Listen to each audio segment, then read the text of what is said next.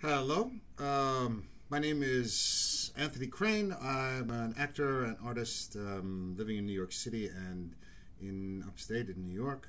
I'm here to answer your three questions. Um, number one, how was it as an actor to cope during the past couple of years? Not easy, uh, difficult to negotiate. It was mostly everything that was live was sh- shut down, but luckily there was um, there was plenty of film and TV going on. For me, I um, I found it was sort of humbling to find you occupy a different space of importance in the great scheme of things. Um, I focused on my family and their health, and I also focused on improving myself and thinking about sort of my humanity. Um, you know, if you're going to be a relator of stories, then you have to be a a better relator of humanity and you know finding out what I love mm, and what what loves me. Um, I felt in the end was probably the healthiest thing I could do with that time. Um, you know I recorded a little music and I painted a lot of paintings. Um, but uh, mostly I was able to read and catch up on material catch up with people. And uh, I thought it was it was sort of had its merits in the end. Um, so uh, number two, uh, yeah, I do paint. Um, it's um, you know, downtime for me is always a sort of a workshop for other arts.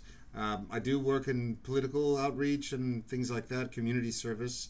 Uh, but I've taught myself everything from furniture making to mosaic to ceramics. Um, but I found that painting, um, watercolor paintings, what I do was um, great for the kind of the time and the uh, space that I had.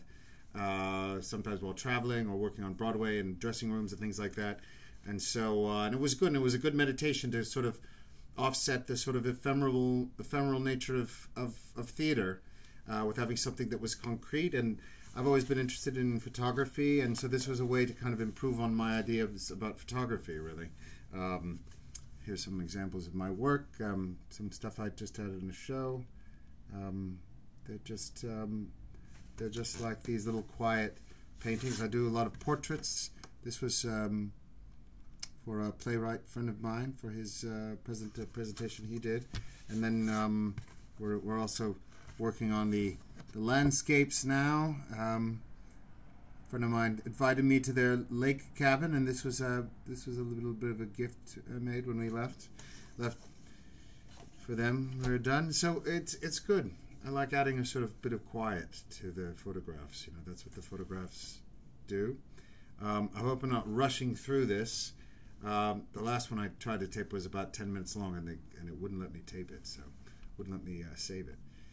So we'll hope this happens. So question three, uh, what are we working on now? Um, I just got finished uh, filming a miniseries for uh, Amazon with Rachel Weisz which was um, sort of lovely, but based on a film from the 80s called Dead Ringers.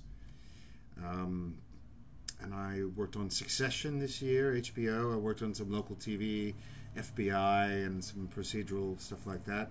Um, I also worked on a film that I was very proud of about the life of Sergei Rachmaninoff, where I played uh, Tsar Nicholas Romanov II, which was um, fantastic, and I got to travel to Italy for uh, five weeks and um, you know, just sort of reminded me of um, you know how much I love this this craft and all its forms and and if you're lucky, the kind of things that you get to do when you when you do it.